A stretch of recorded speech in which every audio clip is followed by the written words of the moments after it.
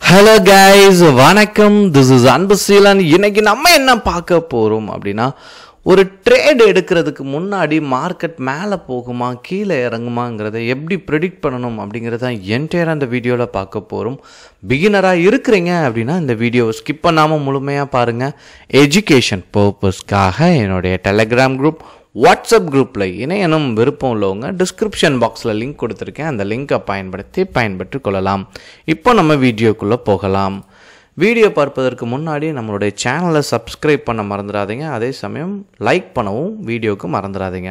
முதல் விஷயம் எப்போதுமே வந்து நீங்கள் ட்ரேடில் எக்ஸிக்யூட் பண்ணணும் அப்படின்னா நெஃப்டியை வந்து ப்ராப்பராக நீங்கள் ப்ரிடிக்ட் பண்ண கற்றுக்கணும் ஏன் அப்படின்னா என்டையராக சரிங்களா? நம்ம இந்தியாவுக்குள்ளே இருந்தும் வெளிநாட்டில் இருந்தும் இன்வெஸ்ட் பண்ணும்போது நெஃப்ட் நிஃப்டியை ரெப்ரசன்ட் பண்ணி தான் என்ன பண்ணுவாங்க? இன்வெஸ்ட் பண்ணுவாங்க. அதனால தான் நெஃப்டி எப்போதுமே வந்து ப்ராப்பராக செக் பண்ணணும். இப்போது நார்மலாக இப்போது நீங்கள் நெஃப்டியோட கேண்டில் இங்கே ரெட்டாக இருக்குன்னா மார்க்கெட்குள்ளே வீக்லி டைம் ஃப்ரேம் போட்டிருக்கேன். மார்க்கெட்குள்ளே யார் இருக்காங்கன்னா முழுவதுமாக செல்லர் இருக்கிறாங்கன்னு அர்த்தம். சரிங்களா?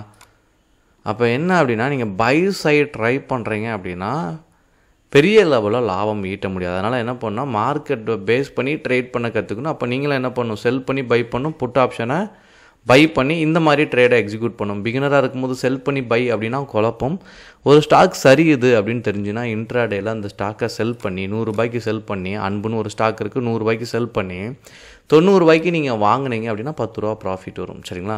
நீங்கள் ஏன் என்ன பண்ணுங்கள் மண்டே மார்க்கெட்டில் லைவில் செல் பண்ணி பாருங்கள் உங்களுக்கு ஒரு ஐடியா கிடைக்கும். சரிங்களா? இப்போது இதில் சப்போர்ட் அண்ட் ரெசிஸ்டன்ட் அப்படிங்கிறது ரொம்ப முக்கியம். அதுவும் வீக்லி டைம் ஃப்ரேமில் ரொம்ப முக்கியம். இந்த மாதிரி ட்ரெண்டை பிரேக் ஆகிருக்கு அப்படின்னா கவனத்தில் எடுத்துக்கணும்.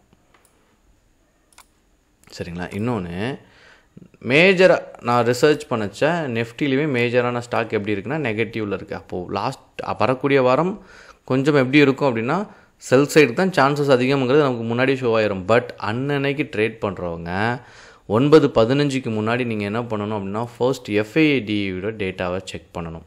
இதில் இன்றைக்கி இன்வெஸ்ட் பண்ணாங்க அப்படின்னா அந்த டேட்டா ஈவினிங் கிடைக்கும். இதை வச்சு நீங்கள் நாளைக்கு ட்ரேடை எக்ஸிக்யூட் பண்ணணும். சரிங்களா? இதை கவனத்தில் எடுத்துக்கோங்க. அப்போது மார்க்கெட்டை பொறுத்த மட்டில் சரிங்களா? நிறையா செல் ஆக்டிவிட்டீஸ் இருக்குது யார்? எஃப்ஐ வெளிநாட்டிலேருந்து பண்ணுறவங்க நிறையா செல் பண்ணியிருக்காங்க.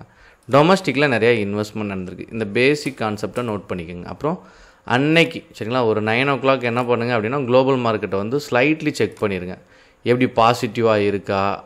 என்ன? அப்படிங்கிறத ஸ்லைட்லி நீங்கள் செக் பண்ணிட்டீங்க அப்படின்னா ஒரு கிளியர் கட்டான வியூ கிடச்சிரும். சரிங்களா? இதில் கிஃப்ட் நெஃப்டின்னு இருக்குது பாருங்கள் அது ரொம்ப முக்கியம். இதனுடைய சார்ட்டை பர்சனலாக எடுத்து சரிங்களா? கிஃப்ட் நெஃப்டி எவ்வளோ பர்சன்டேஜில் இருக்குது அப்படிங்கிறத ஒரு ட்ரேடுக்கு முன்னாடி நீங்கள் செக் பண்ணிடணும்.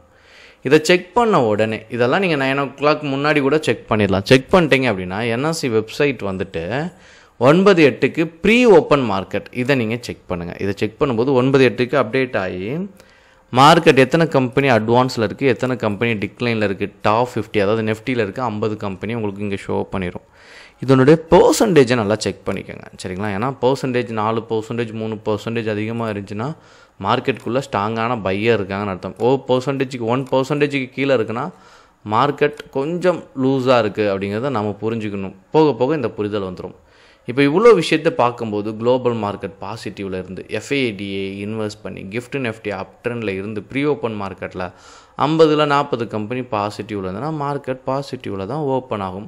இது எல்லாமே நெகட்டிவில் இருக்குது குளோபல் மார்க்கெட் நெகட்டிவ் சரிங்களா? எஃப்ஏடிஏ அதிகமாக செல் பண்ணியிருக்காங்க சிங்கப்பூர் நெஃப்டி டவுன் ட்ரெண்டில் இருக்குது இதில் நாற்பதில் ஐம்பதில் ஒரு நாற்பது கம்பெனி டிக்ளைனில் இருக்குன்னா மார்க்கெட் நெகட்டிவில் ஓப்பன் ஆகும். நீங்கள் கீழே இருக்க ஸ்டாக்கில் என்ன பண்ணலாம்? ட்ரேடை எக்ஸிக்யூட் பண்ணலாம். இதை வச்சே மார்க்கெட் எப்படி ஓப்பன் ஆக போகுதுங்கிறத நீங்கள் கணிச்சிடலாம். இன்னொரு முக்கியமான விஷயம் ட்ரேடு எடுக்கணும் அப்படின்னு ஆசைப்பட்டீங்க அப்படின்னா மார்க்கெட் ஓப்பன் ஆனோடனே நெஃப்டியோட வெயிட்டேஜை செக் பண்ணி ட்ரேட் பண்ண ஆரம்பிங்க. ஏன்னா இன்றைக்கி நிறையா பேர் இதை செக் பண்ணுறது கிடையாது. ரொம்ப கடினமாக தெரியும். இப்போ பிகினராக இந்த இந்த வீடியோ நீங்கள் வாட்ச் பண்ணுறீங்கன்னா ஏதோ ஒரு பெரிய கான்செப்டாக தெரியும். எல்லாமே ரொம்ப சிம்பிள் தான். சரிங்களா? நீங்கள் ட்ரேட் கற்றுக்கிற வரைக்கும் தான் கஷ்டம். ட்ரேடை கற்றுக்கிட்டீங்கன்னா இது ஒன்ஸ் நீங்கள் ஜஸ்ட்டு பார்த்தா போதும் ஒரு புரிதலுக்குள்ளே வந்துடும் இதில் செக்டாருக்கும் வெயிட்டேஜ் இருக்கும். நெஃப்டியோட வெயிட்டேஜ் சரிங்களா? அதே மாதிரி கம்பெனிக்கும் வெயிட்டேஜ் இருக்கும். இது ரெண்டையும் கொஞ்சம் க்ளோஸாக வாட்ச் பண்ணிட்டீங்க. நெஃப்டி அப் ட்ரெண்டில் போகுது நீங்கள் முடிவு எடுத்துட்டீங்க அப்படின்னா நீங்கள் ஸ்டாக்கில் தாராளமாக ட்ரேட் எடுத்து வெயிட் பண்ணலாம். நல்லா இல்லைனா ஸ்கேல்பிங் பண்ணுங்கள் என்ன டவுட் இருந்தாலும் கமெண்ட் பண்ண மறந்துடாதீங்க. Okay guys thank you so much for வாட்சிங் this video tata bye bye see you